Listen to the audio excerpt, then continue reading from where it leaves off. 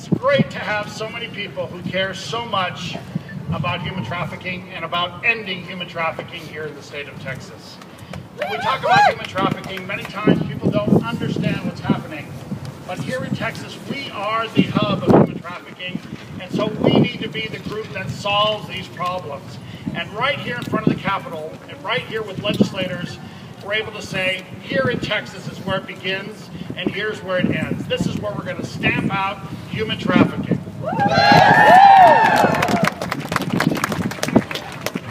It is a beautiful day, but unfortunately, for many victims of trafficking,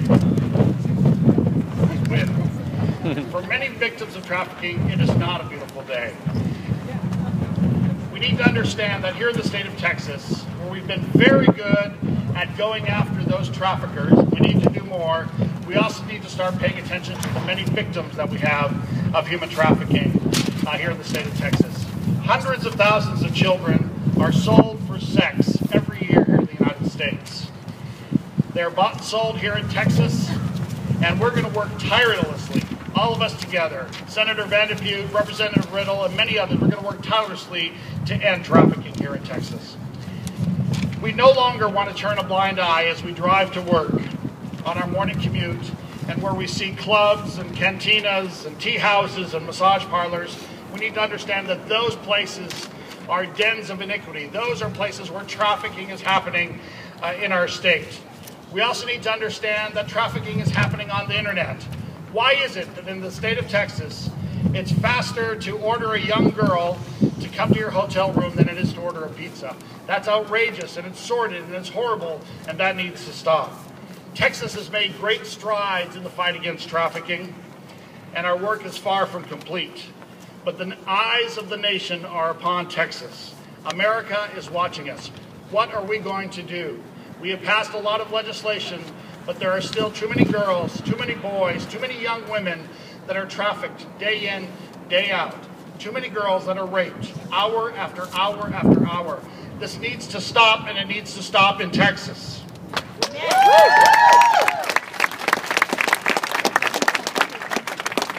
There are a lot of us here today, and I know there are many, many more all across the state of Texas.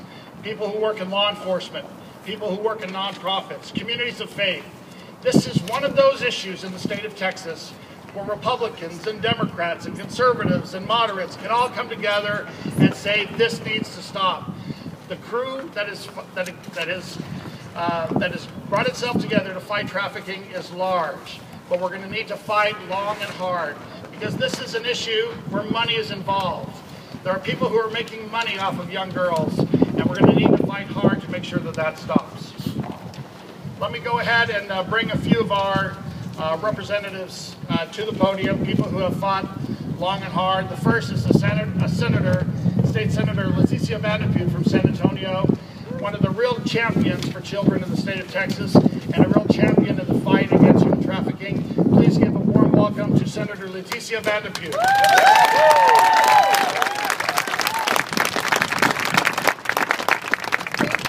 and good morning. Thank you so much.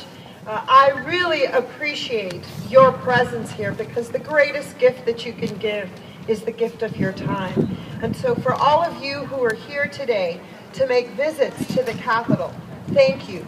Your effort will help our young, particularly our young women, in, in an effort that we have to make sure that they don't become the victims of human trafficking, and that those who are caught in this horrible, horrible, greedy crime are rescued and then are given the proper services that they need to again live a life of dignity.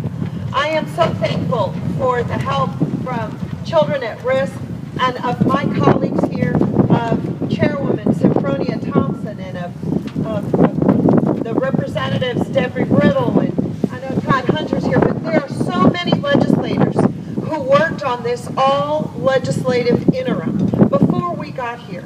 But we need your help. And we're so thankful for the many faith-based groups who believed in this and who came and knocked on doors when nobody what human trafficking was. Because to think that this happens in our state is a very ugly, ugly thought. So it is with great pride today that as you begin your visits, that the Senate is pleased to recognize. And so I would, on behalf of the efforts of, of the legislature, read our, our proclamation. Whereas the Senate of the State of Texas is pleased to join Texans across the state in observing February 25th, 2013 as Anti-Human Trafficking Day at the Capitol.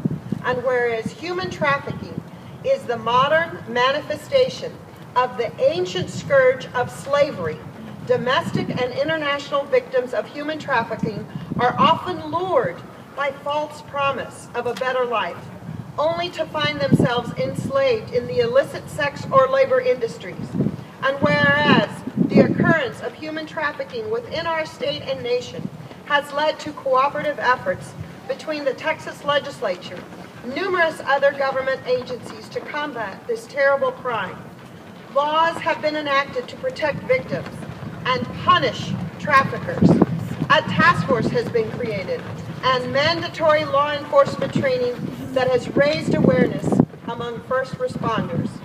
And whereas the advocacy groups across this state have played an important role in making people aware of this atrocity through direct service, policy advocacy, research, community education, and among the many groups performing this invaluable service are Children at Risk, Redeemed Ministries, the Texas Catholic Conference, the Baptist General Convention of Texas, and the Combined Law Enforcement Association of Texas, and many, many other groups. And whereas it is truly appropriate that a day be set aside to raise awareness of this inhumane practice, and now therefore be it resolved that the state of Texas, the 83rd legislature, hereby commend the organizations and the individuals working to eliminate human trafficking in our state and nation. And we extend the best wishes for a productive anti-human trafficking day at the Capitol, and be it further resolved that a copy of this resolution be prepared in honor of this important occasion. It is signed by our leaders in the state, and I would like to present this right now to Dr. Bob Sanborn.